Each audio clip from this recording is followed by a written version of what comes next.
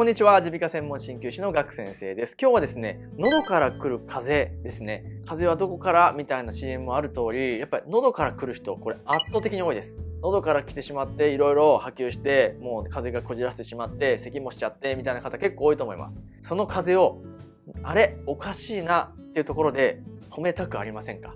今日はそのあれ喉おかしいやばい風邪ひくかもっていう時にこれやるとそこでストップできますよっていう方法をお伝えしていきますので気になる方は最後までご覧ください。それでは行きましょう。はいでは喉から来る風邪なんですがこれ段階によっていろいろ理解がまた違ってきます。一番考えなきゃいけないのは発熱があるかどうかっていうとこなんですね。熱があるかどうか。熱が上がってしまってる状態っていうのは体にですねウイルスが結構もう入り込んでしまってもう戦ってる状態なのでその場合はですねやはり病院に行って抗生物質とかそういったお薬を飲んで対処した方がこれはもう早く治るしその後の後遺症二次的被害も起きづらいっていうふうに僕自身も考えますのでそういった時には西洋医学のお薬に頼ってやるっていうのが一番いいかなと思ってます。ただ風邪ひきそうな時に何とかしたいよ。でも病院に行くほどじゃないしな。でもなんかこの後ちょっと熱上がりそうな気配もしてるなみたいな時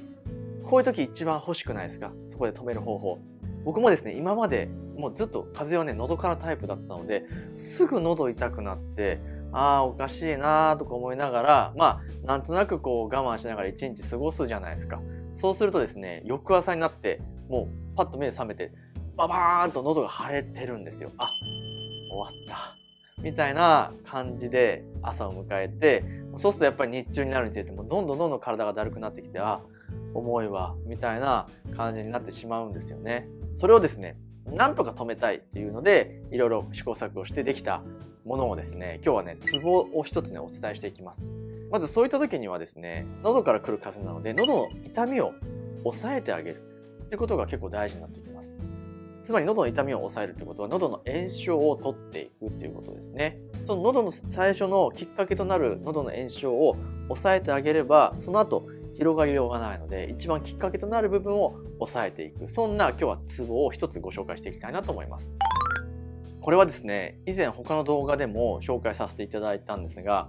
めちゃくちゃ反響がありました。あのコメントとか見ると「うわ神様だ!」とか「マジでなくなった喉の痛み」とか「取れすぎて怖い」みたいなそんなコメントがねめちゃくちゃ多いんですよね。なんかもうそれを見るたびにあ僕もやっと神様に昇格できたかなみたいなあの意味のわかんない思考に至るんですが今日はですねそれはちょっと押さえてちょっとね紹介していきたいなと思うんですがツボの名前としては着卓っていうツボです。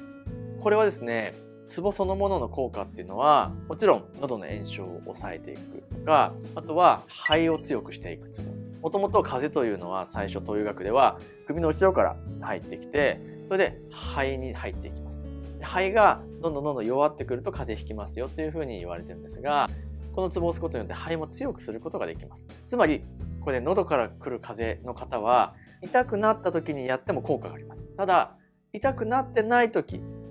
予防としてもめちゃくちゃ使えるツボなので、ぜひともね、私喉弱いんですっていう方はもう日々押しまくっていただいて、着卓というツボをね、ぜひマスターしていただければと思いますので、今日は徹底的にやっていきます。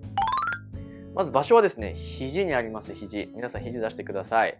肘のね、この内側に曲がるところあるじゃないですか、曲がるところ。ここの真ん中にね、くぼみがあると思います、くぼみ。外側行くとね、ちょっと硬いし、内側行くとちょっと硬いんですけど、真ん中にくぼみあると思います。このくぼみからですね、外側、親指寄りの方に、外側に行くと、ちょっと盛り上がる山みたいのがあるんですね。へこんでる、登りかけてる山の頂点、で、また山が降りるみたいな感じですね。そこの山の頂点、ここが尺卓というツボになります。もう今ちょっと押しただけでね、こっちの方にビーンとなんか響くような感じがありますが、このツボ、めちゃめちゃいいです。押し方が結構ポイントです。よく皆さんありがちなのは、親指でグッと押して、グリグリグリグリってやっちゃうんですけど、これグリグリは絶対やんないでください。ツボっていうのはですね、ある種こう生き物だっていうふうに考えています。もちろんそうですよね。人間も生きているので、このツボだって細胞だってもちろん生きてます。なので、優しく押してあげてください。グリグリグリグリってやってしまうと、ツボがね、死んでしまって、ツボの効果がうまく発揮できないんですね。なので、押し方としては、あ、硬いのあったなと思ったら、そこでぐーっと優しく圧迫するだけ。これだけでいいです。みんなね、物足りないなと思うからグリグリやると思うんですけど、ぐーっと圧迫するだけで十分です。で、例えば、右の喉が痛いよっていう場合は右。左の喉が痛いよっていう場合は左。これね、もう押しながら、例えば唾ごっくんとかしてみてください。すぐ消えます。もちろんこれで消えないものもあります。それはね、他のツボで補えるっていうのがあるので、それはね、確かうちの違う動画で紹介してるので、そっちを見てほしいんですけど、で、これ予防で使いたい場合はもちろん両方使っていただいて結構です。例えば私、咳が出やすいですよとか、喉痛くなりやすいですよっていう方は、両方とも日頃から押していただく。押す時間としては、だいたい5秒。1、2、3、4、5で一回離して。で、また5秒。1、2、3、4、5で離す。で、また5秒。1、2、3、4、5。っていう感じ。これは両方でもやっていいし、片方でもいいし。これやっていただくだけでですね、喉からの風、あれ、おかしいなっていうものはね、結構抑えられてきますので、ぜひともこれをやってみていただければなと思います。あとちょっと補足なんですが、これはプロの歌手の方とかにも実は教えていて、声を出しすぎて喉が痛くなっちゃったっていう場合にもめちゃめちゃ使えますので例えばね皆さんだったらカラオケで歌って喉痛くなっちゃったとか声枯れちゃったっていう場合に押していただくと軽減することができますのでそういった使い方もやってみてください。今日はですね喉から来る風。邪僕も一番苦しみました喉から来る風邪について対処法を一つご紹介させていただきました。少しでも役に立ったよっていう方は是非高評価ボタンとチャンネル登録をよろしくお願いいたします。それではまたお会いしましょう。